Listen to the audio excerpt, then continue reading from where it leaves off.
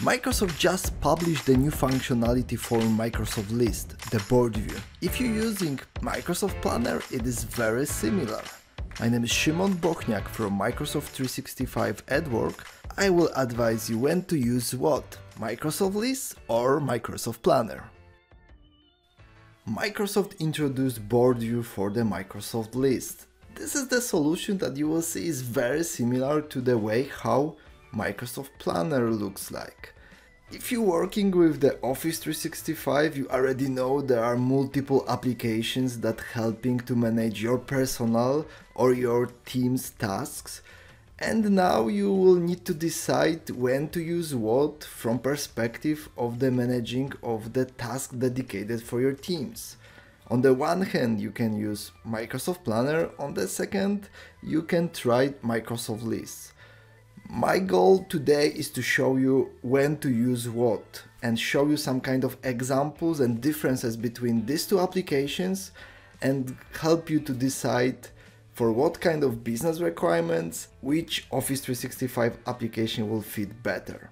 Probably you will end up using both applications but for the different use cases. This video will help you to make that kind of decision. If you would like this video, please leave the thumbs up. If you want to get the notifications about the new videos, please subscribe to the channel. And now we will switch to my screen. So we will start from perspective of the new functionality that is provided for Microsoft Lists.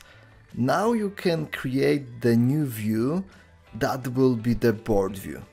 If you did not work for a long time with the Microsoft Lists in general, you can also find additional views like calendar and galleries. You will find different videos on the channel that describe them.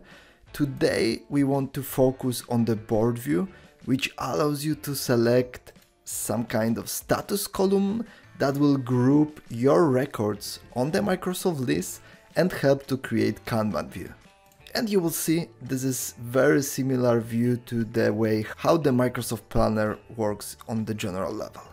Now you can see that our records are organized based on the column and we can easily switch them and change their status by dragging and dropping the records between the statuses very simple way. You have also the new records that you can bring and switch between the status using this very easy to use view and add additional buckets which will be the new value for the drop down menu. You can see you cannot edit the records from directly here but the panel will open and you can manage all that data exactly in the new view. You can see this is not some kind of game changer for Microsoft List but at the same time it makes your life very easy from perspective of the processes when you have to switch the records between the steps and this is the main task you're doing behind it. You can imagine the help desk or processing some kind of content between the people before it will be published. This is the perfect solution to manage that kind of records. And again, you can see this is very similar solution to the Microsoft Planner. When we will go back to the Microsoft Planner, you can see that we have very similar solution when we can create the buckets and move the records between the steps and the styling is a little better. You have more advanced solutions in here from perspective how the records are presented. But at the same time, you have to know that elements that are in here are structured based on the planner setup. So you can see from perspective of the functionality how you managing the tasks there are no that big differences there but there will be few elements that you should consider when you choosing between Microsoft Planner and the Microsoft lists with the board view. So let's start from perspective of the Microsoft Planner. When use this application to manage the tasks. First of all, you need to remember that this is centralized application that aggregate all planners in the organization where you are assigned to. You can manage the tasks that are assigned from the specific planner or plan publishing of your articles on the blog. But what is important, this is the centralized application that is quite simple, structured in a specific way. So if you will open the record in the Microsoft Planner, these are the possible elements that you can have here and nothing more. So there's no way to customize the way how the form looks like, what kind of the data you want to structure there. You can also add the comments, attachments or checklists, but this is the most what you can get. The also security is limited to the planner, so every person who is assigned to specific plan in the planner could edit all records in there. Plus, from perspective of some kind of tracking, there's no that much version history in here. But if you're looking for the very simple, predefined solution that you can immediately deploy, this is the solution you should select to speed up the process of work of your team or, or your personal task management. One more thing, Planner is also available on the mobile application where Microsoft Lists is in progress on, on that side. In case of the Microsoft lists, you can manage multiple applications in here, build some kind of processes around it, but you need to remember that it doesn't have to be focused on the tasks around the team. And you can imagine that some of these applications could be around publishing information on the social media, maybe different apps will be focused on the registrations of the purchase orders. On the other hand, it could be contact list of the people across the organization. But all of these applications can be customized by you.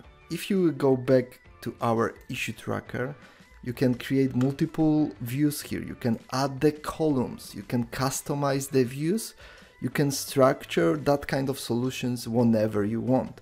But remember, you will need to do that. Of course, there are some templates on the channel. You will find the video how to use them. But if you want to build specific application unique for your team, you will need to set it up step by step. To be fair, I very like that kind of approach, but if you need to invest some kind of time to build the application, it will be good if it will be more complex than standard plan in the planner. And one more thing, you can manage the security on the item level, can get the version history of the record, you can found additional elements, you can manage multiple attachments interconnected with that record. So if you're looking for something more complex, you have more advanced business requirements to the task management solution, Microsoft List could help you to do that. You can see that Microsoft List board view is very similar to the Microsoft Project board view. If you want to get the solution that will be immediately available for your users, will have very simple structure, does not require any complex security setup, select the planner. It is super simple solutions, works perfectly well, and in such cases it will handle your business requirements. If you imagine that your process or maybe application that will be behind that kind of Kanban view will be more advanced, I recommend you to use Microsoft Lists. You will get the possibility and flexibility to extend the solution, to use more advanced reporting, maybe very restricted security setup, and you will have more possibilities to customize and extend your application in the future. Right now I recommend you to play with both applications. I'm closer to the Microsoft list, but at the same time using Planner for the very simple business cases. Play with them, try them and check which application will work for what kind of business cases you will have there. If you want to learn more about Planner and Microsoft Lists, you will find more videos on the channel that digging through these applications. For now, thank you for watching and see you in the next video.